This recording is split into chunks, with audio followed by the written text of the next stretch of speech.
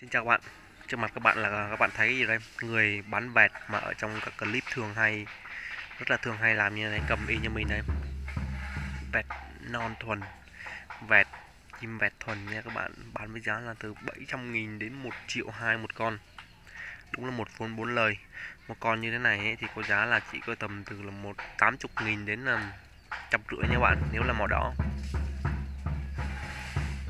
đây thay vì vì không không có không có cái sợi xích cho nên là mình dùng cái dây dây đỏ này thôi các bạn. Cái tập tính của loại này ấy, thì nó nó nó rất là dạng người cho nên các bạn đừng có lo. Cho dù mang ra ngoài ngồi ngoài, ngồi ngoài đường nó cũng đứng như thôi nó chẳng sợ gì hết. Đây nhà mình sẽ, sẽ cho bạn quay. À, không có phụ diễn thế này đây đấy được chưa? Đây người ta cầm đứng ngoài đường này thôi. Như nhà mình đấy sau đó là sẽ sờ. Nếu mà khi các bạn sờ ấy thì có hai trường hợp. Một là nó cắn như này hai nó nhảy. Nó nhảy nhiều nó sẽ mệt thôi. Vậy lắm. Ừ, không?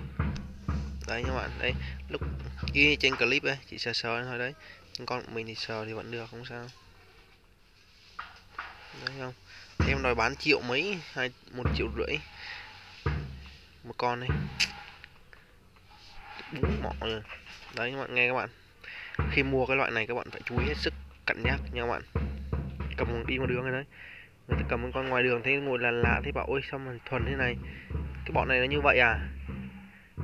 Chứ nó không không có phải là là thuần dưỡng hay là cái gì hết các bạn. Đây con này thì của mình là con ờ, uh, bổi bắt về đây một vài ổ yếm cái này. 800 nghìn này chứ không phải là triệu mấy các bạn triệu mấy các bạn đã bị lừa một cái vố cực nặng rồi. Loại này rất là dở. Không nên nuôi nha các bạn. Ăn tốn cám thôi không nói được. Đấy. Đấy mình thấy trong một số clip nó nó, nó đăng như này đây.